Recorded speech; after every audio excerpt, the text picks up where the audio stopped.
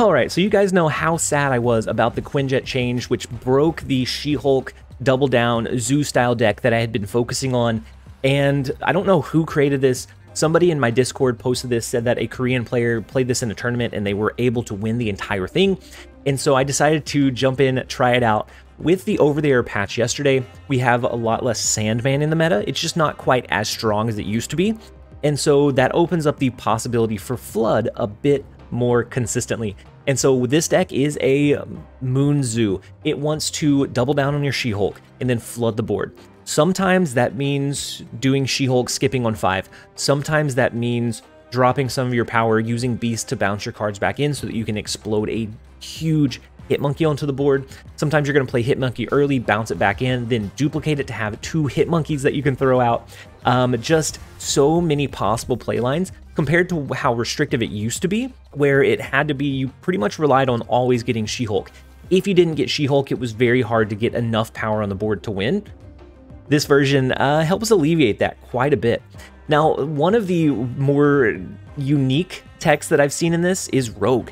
And I have to say, I have been loving having Rogue. We all know that we're in a much more heavy ongoing meta, and so we're seeing things like Hawk, like Dino, like Null, um, just Patriot, all kinds of ongoing cards. And Rogue can take those and swing them back in our favor. Instead of just copying them like Super-Skrull, instead of taking them completely off the board like our Enchantress, which is a solid option. But I think the advantage that Rogue has in this matchup or in this particular deck is that she's cheap if we have Quinjet and we double down on our Rogue, there are some games where we're going to drop two Rogues to still two ongoing abilities that the opponent is pretty set in themselves having, and then all of a sudden we can use that as a tempo advantage to swing the game back in our favor. And so for 5 energy, we can drop two rogues. Sometimes we're going to double it, just drop one for 3, one for 2 later. Sometimes we'll just drop the second one for 3 as well. But overall, I have been loving this list. I have a 67% win rate over 30 games and a average cube gain per game of 0.74. And so this has been absolutely putting in some incredible work. Um, you don't have to worry so much about Killmonger because a lot of your burst is going to be on the last turn of the game. The biggest downside or detriment to this deck, as far as I can tell, is lockdown capabilities. So Storm is kind of can be tough to overcome. A Professor X is very detrimental. Spider-Man can be very detrimental if you don't anticipate it, if you don't see it coming, and play your cards there appropriately ahead of time. And so overall, I really enjoyed this list. I didn't run into any particular matchup that just felt like I couldn't win, but within that same breath, I'm not seeing a lot of Galactus. I'm I'm not in a portion where I'm seeing a lot of Galactus. If you do, you're going to have to rely on Iceman to disrupt their ramp components.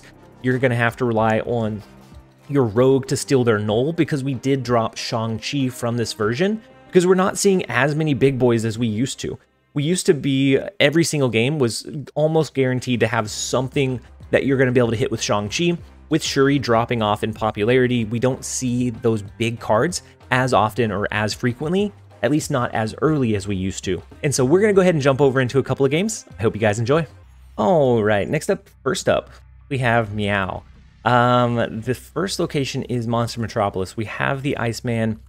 We have Hood, but I'm going to prioritize disrupting them a little bit earlier, just in case maybe Bar with No Name comes up somewhere. We want to be able to have that Hood or that resource to be able to utilize. And so if not, then we can go maybe... Uh, that's not great. The Mysterio is not great. Let's just go Hood this turn, which doesn't feel incredible. But we're going to go Hood this turn. We're going to Beast bounce it back into our hand on the following turn. And then we can go from there. Now this looks like a either a Junk or a Professor X lock style... Either a Junk or Professor X style uh, Thanos list. So I have to be careful of that. Let's go ahead and bounce these back in. All of them are going to be free next turn, which is great for us. We're just looking for a potential... Uh, we want to be cautious of a potential Spider-Man, a potential Professor X, um, even a Spider-Man into Professor X could be pretty detrimental. And so we want to play with that in mind, knowing we may not have all of the spaces that we need or want to to play into. Now we have, wow, an explosive, the explosive uh, last turn right now, which I kind of, kind of want to go with if we don't get restricted by any means. we can skip on turn five and just blast the board. Uh, like we would fill it up after that point, which is just insane, right? We're gonna do the hood. We get a another demon. Do we skip here? I mean, if we play She-Hulk, all all that it really so let's make sure we can play everything. So two, three, four, five, six. Ooh. So we need to play. Uh, yeah, we need to play She-Hulk. But where do we play She-Hulk? Let's play She-Hulk into mid, and that leaves us with two, three, four, five, six. we can explode the board. Now, we're going to do the She-Hulk.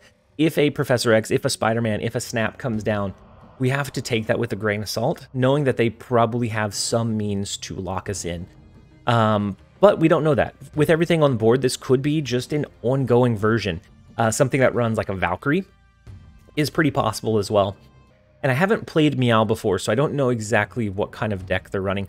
Maybe they maybe I have played them before and they just changed their name. That's that's always a possibility as well. They didn't immediately snap after they saw the She-Hulk, so we're okay there. Um, we just this is just such an explosive hit monkey play that I just I just I just want to see it. I just want to see it pay off. They do Time Stone. Oh wow, Time Stone, Power Stone, and then the Soul Stone. Wild. Okay. So Thanos is powered up, but if they do just Thanos this turn, there's no way that they can keep up with how much we're going to just explode on the board. Um, I don't know that we beat this left lane. Thanos comes down, he's 20, he goes up to 40 because of the throne room. I, we're, we're never going to beat 20. We're never going to play more than 10 cards, right? I mean, maybe. Probably not, but maybe. Uh, let's do the Hitmonkey into Sacred Timeline. We're going to do a real, real Mysterio here. The fake one goes here and here. And so then we go here, here, here, and here. I mean, how, how many cards is that? Um, well, that's a lot. That's for sure. It's a lot. That's uh, one, two, three, four, five, six, seven. This is a 14 power Hitmonkey. 14 power. Um, we still have a chance to lose this lane if they do Thanos here, but then I think... Oh, wait. What was the last card we played? Ah! Okay. Guess let's double stack in the left lane. Just in case they don't play anything here. That way we just... We can uh, outpower them. Now, if they really force in this left lane... Oh, no! I, I skipped one of the Mysterios, right? No, maybe not. Okay, they do have the 40 power Thanos in the left lane. They have the Ant-Man in the right lane. Our Hitmonkey is going to be massive, massive 14 power Hitmonkey. The Thanos, he can be there all by himself. He is sitting upon his throne. The uh, the the Mad Titan, the Mad King, the the one who cannot be stopped. Um, he can have that one. We'll just we'll just make do with the other two instead. We will go ahead and take the two cubes. That is just like how can you even calculate against that? That's just so much. that you're putting onto the board on one turn. It's nuts. We're going to go ahead and take it. Let's jump over into the next one. All right, next up we have Eugenia. I don't know about Eugenia, but I don't know. I didn't have, you know, sometimes you start talking, you don't have anywhere to go. You just hope you find yourself in the end. We're going to go ahead and skip here, clear up the collapse mine. We prioritize the Iceman. One, because it was the only one cost we had, but also the, that early disruption is so solid. Some decks, it just breaks them. Sometimes it just breaks their, their main combo line, and then they're just forced to retreat. So if we so if we can play it, we typically prioritize that. Let's go with the Carnage in the right lane. We're going to do Sunspot into Morag so that he can soak a bit. Next turn, depending on what we draw, maybe it's a Moon Girl. Maybe we play Moon Girl to double down on the Rogue. Maybe we use Beast to bounce the Iceman back in, add a little bit more disruption into him. So they run an Iceman as well. It hits our Beast. We can still Beast this next turn if we want to. Tinker's Workshop gives us an extra energy. How do we want to play? Kind of want to bluff them. We're gonna do we're gonna do Quinjet and then Moon Girl. We're gonna let we're gonna make them think that we have two She-Hulks when we don't. Uh, we're gonna do this. We're gonna snap into next turn. We're gonna pass into turn five, five into six, and uh, we're gonna hope for the best it crazy? Probably. Would it work? Probably. Maybe. There's a possibility that it works, right? It's not a great one, um, but it's still a possibility. Let's do the hood into mid. How committed are we to this bit? Pretty committed. Let's go ahead and snap. We're going to play the hood and we're going to soak. And um, we'll see. We'll see if they stick it out. We have... Uh, it's not great. Uh, I wanted to copium and say we had some okay plays. We really don't. We can do rogue plus rogue plus demon on the last turn, which is a fair amount of power. If they happen to play like an ongoing card here, or maybe if they happen to play an ongoing card here, we can we can utilize the second rogue to our advantage. I think they're trying to get a read on what we're what what we have or why why we snapped because we're reckless. Because we're reckless. Um, we wanted to make it look like we set up the the She-Hulk play, even though we didn't have it. Unfortunately for us, they bought it. We maybe could have pulled this one out. Not not likely, but we maybe there was a, a small slim shot if they didn't have great cards. But we did get them to buy our story. Let's go ahead and jump over into the next one. All right, next up we have Crouching Donut Hidden Calorie. The first location is Murder World. Um, so we're gonna uh, play away from there. We may play our hood into that location. Nope, never mind. Turns out we're gonna play our hood into Gamma Lab. We let our sunspot be, right? We don't, we never bounce back, bounce it back in. Let's go hood. We're gonna generate a, a demon. Maybe we play that demon into Gamma Lab as well. Now, the partial issue that I have with this version is sometimes locations like Monster Island. What? Oh no, that's not good. That's not good at all. Oh no. oh no. Well, um, the partial issue that I have with um, the partial issue that I have with this list or this version is that sometimes you are going to want to have Shang-Chi for like Monster Island, Gamma Lab, because now if they have Shang-Chi, this lane is just in their favor. There's not much we can do. Now they did Zabu and into a Mr. Negative, so I don't think they're going to have Shang-Chi. So at least this one is fair game right now. We have the Rogue, which is going to allow us to steal their Iron Man, their inverted Iron Man that they're going to place right here. I'm calling it right now. They're going to place it right here, right here in this lane. And uh, we'll be able to steal that along with playing a few of our other cards. Let's go... Let's go... Hmm. Yeah, let's do it. Let's do Mysterio, Hit Monkey. We're going to Beast bounce it back in next turn, most likely. Maybe we do Demon plus Beast um, to be able to get the resources for free so that we can do an explosive last turn on top of having the rogue at our disposal.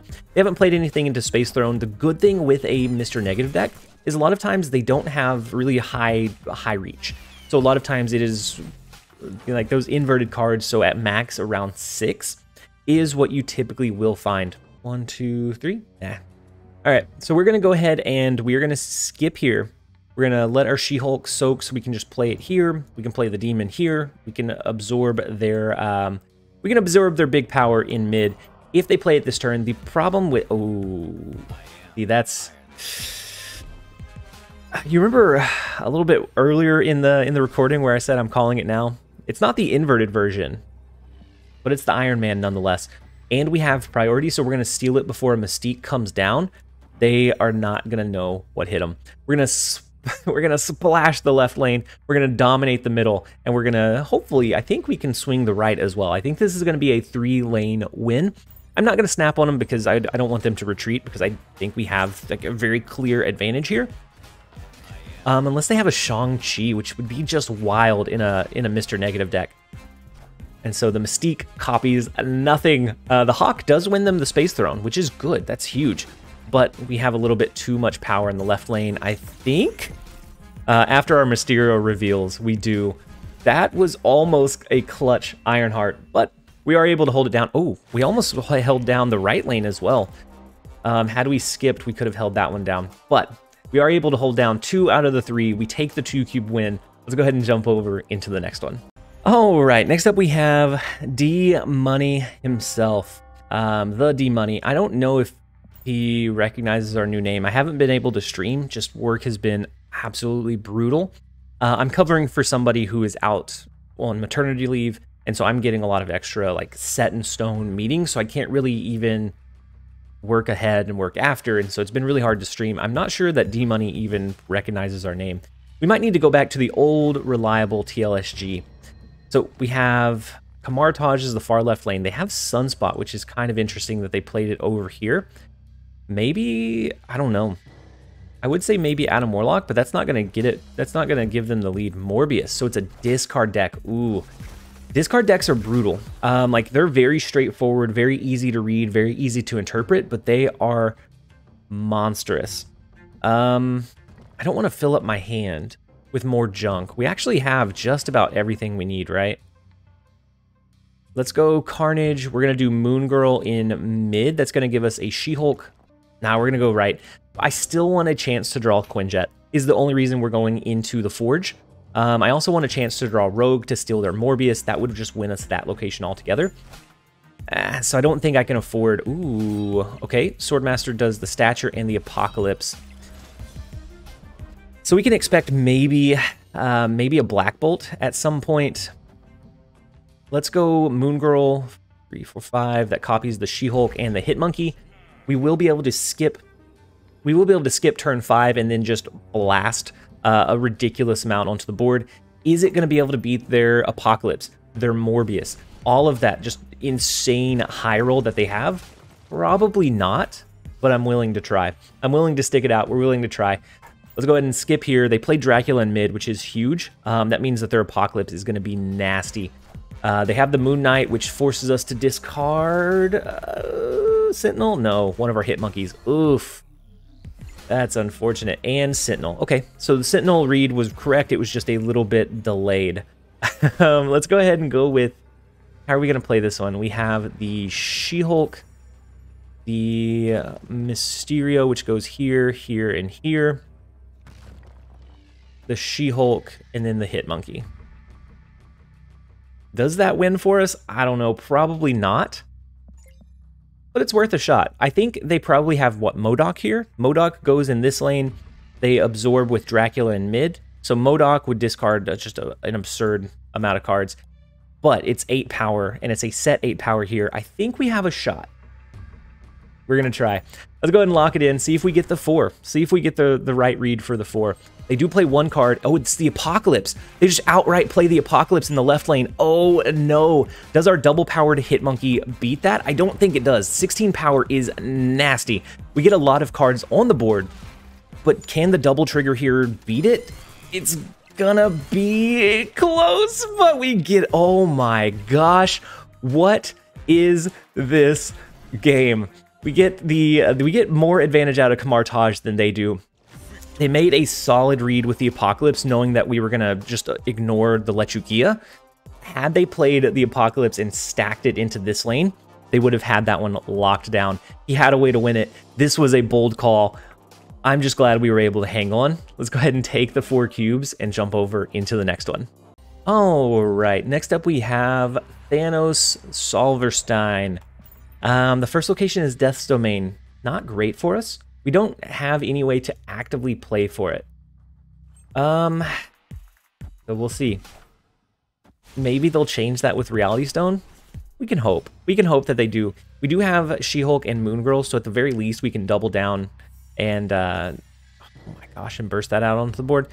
Miniaturized Lab is so restrictive for us. I don't know. We're going to play Carnage, uh, just so that it's out on the board really the main priority of Carnage is to clear up those those like junk decks. It's to clear up the negative hood and just create extra space for ourselves. So they change mid with the Reality Stone. We actually get Wakanda Embassy, which is going to give us more us more benefit than it does them because we can, of course, double down on our on our resources. Part of me wants to play Beast this turn, but I also don't want it taking up space for the Moon Girl and Lemuria. Actually, I think this is the only time I've ever been able to say this, but Lemuria is actively working in our favor here. We can play the Beast. Next turn we do... Actually, let's do Beast to the right. Next turn we do Moon Girl. That will double down on three cards. We'll still Beast the, uh, the Quinjet back in. So we need to play Beast into mid.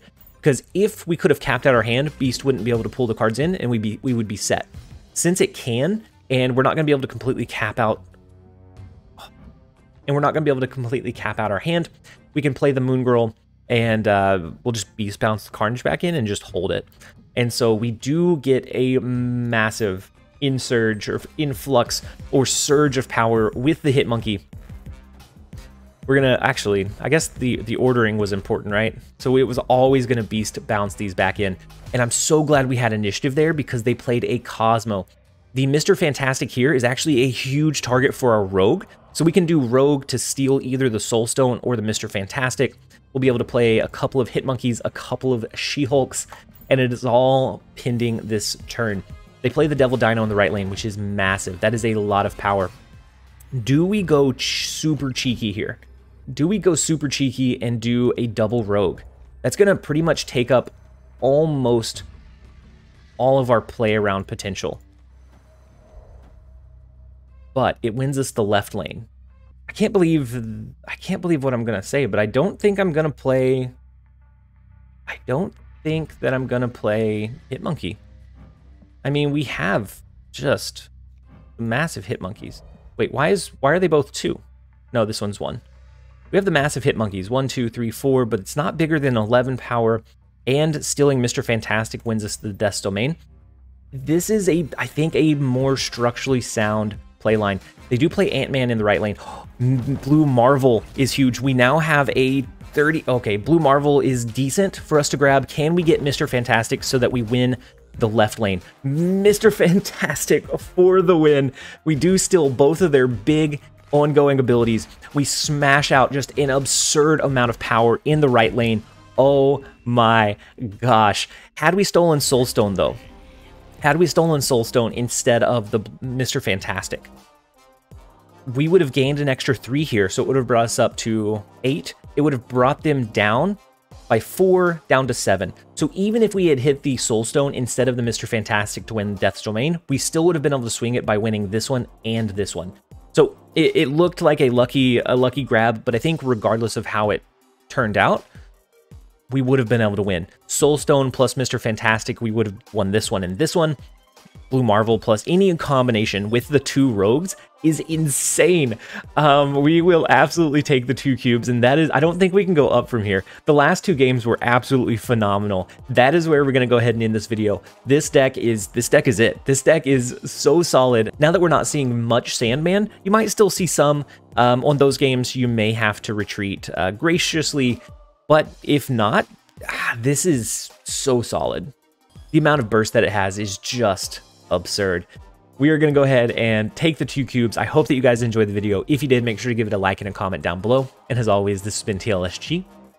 Later, guys.